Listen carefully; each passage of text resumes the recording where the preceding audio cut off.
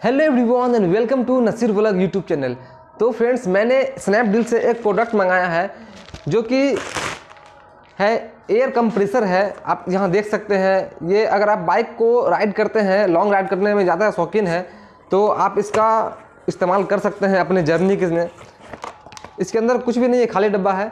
यह एक air compressor है, जो कि डीसी से चलता है, और इसका आप उपयोग करके देखेंगे हम, यह कितना यूजफुल है हमारे लिए। ये इसके अंदर एक छोटा सा मोटर लगा हुआ है, अगर आप देखें तो। और ये दिखने में बिल्कुल बड़ा ऐसा एयर कंप्रेसर की तरह लगता है। बट ये काफ़ी लाइट वेट है। मेरे ख्याल से यह 200 ग्राम 250 ग्राम के आसपास का होगा। इसे बैटरी से कनेक्ट करके आप इसे यूज़ कर सकते हैं। और अगर रास्ते में कहीं पंचर हो जाता है या हवा कम हो जाता है आपके बाइक का तो आप इसे यूज़ कर सकते हैं।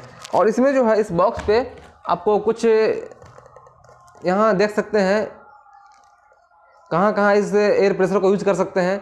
इसके लिए आपको इंस्ट्रक्शन दिया गया है। साइकिल के लिए है, एक फुटबॉल के लिए है टायर के लिए है, ऐसे ही कुछ है। और इसके अंदर कुछ भी यूजेज मैनुअल वगैरह नहीं मिलता है। और कुछ पिन मिलते हैं हमें यह तीन तरह के। एक फुटबॉल के लिए है और एक बैलून के लिए है और पता नहीं क्या है। तो चलिए हम बाइक के पास चलते हैं और देखते हैं कि इसको हम कैसे इस्तेमाल करते हैं और क्या यह यूजफुल है कि नहीं। तो फ्रेंड्स मेरे पास यहाँ बहुत सारी बाइक लगी हुई है। आज हम प्लेटिना 110 सीसी की बाइक में यह टेस्ट करने वाले हैं। इसके लिए मैंने एक अलग से बैटरी ले आया है ई टी जेड फाइव और उसके बाद यह एक एयर कंप्रेसर है। साथ ही इसमें पिन लगाने के लिए मैंने कुछ चिमटे ले आए हैं यहाँ से अटैच करने के लिए इसको बैटरी से। और उसके बाद इसका जो आ, मीटर है प्रेशर चेक करने वाला वो एग्जैक्टली exactly नहीं बताता है। इसके लिए मैंने एक अलग से मेरे पास था तो ये एक अच्छे कंपनी का मीटर लेकर आया हूँ। इसमें का हम सारा हवा बाहर निकाल लेते हैं पहले। तो इसमें का सारा हवा जो है वो बाहर निकल गया, देख सकते हैं आप। वो बिल्कुल भी मीटर शो नहीं कर रहा है।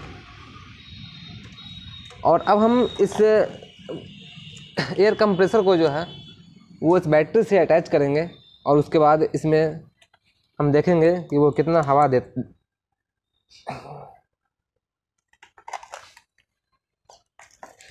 तो इसका जो सेंटर वाला है, वो प्लस है और साइड वाला माइनस है। तो हम इसे अटैच कर लेते हैं पहले माइनस वाले पार्ट से। ठीक है ना? और इसे, ये देखिए। इसे टच करते ही यह चालू हो जाता है। इसमें कोई स्विच नहीं है। इसमें कोई एडिशनल स्विच नहीं है। जैसे ही हम बैटरी में सटाते हैं, यह चालू हो जाता है। और देखते हैं कितना देर में यह हवा भर पाता है।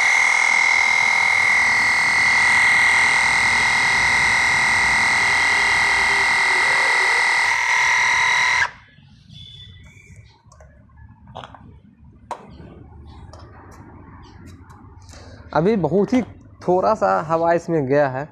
अभी काफ़ी टाइम लगेगा इसमें।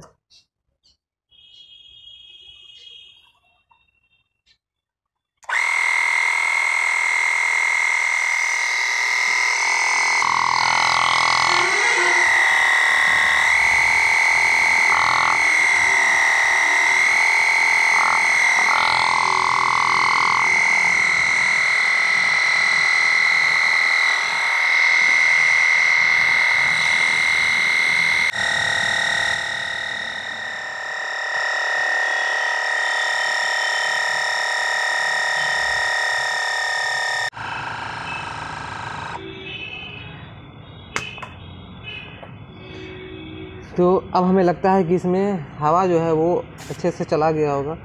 अभी यह 25 पॉइंट हवा शो कर रहा है। आप अगर देखें तो 25 26 पॉइंट हवा शो कर रहा है। तो काफ़ी है। इसमें थोड़ा सा टाइम ज़्यादा लगता है क्योंकि यह जो है, वो प्रॉपर बड़ा मशीन नहीं है। यह एक छोटी सी मशीन है। अगर पाँच मिनट भी लगता है तो काफ़ी अच्छा है। मैंने इसका पूरा एयर जो है वो ज़ीरो कर दिया था एयर प्रेशर और उसके बाद मैंने इसमें इस मशीन के मदद से जो है, इसमें हवा भरा है। तो पाँच से छः मिनट लगे और पच्चीस से छब्बीस पॉइंट तक इसमें हवा आ गया। तो आशा करते हैं कि आपको ये वीडियो पसंद आया होगा। अगर आपको ये वीडियो पसंद इस प्रोडक्ट का लिंक जो है, मैं आपको डिस्क्रिप्शन में दे दूँगा। आशा करते हैं कि आपको ये वीडियो अच्छा लगा होगा। अगर आपको ये वीडियो अच्छा लगा हो तो इसे लाइक करें। यदि आप मेरे चैनल पर नए हैं तो इस चैनल को सब्सक्राइब कर ले। जल्द ही मिलते हैं एक और न्यू और एक्साइटिंग वीडियो में। इस वीडियो को देखने के लिए आपका शुक्रिया।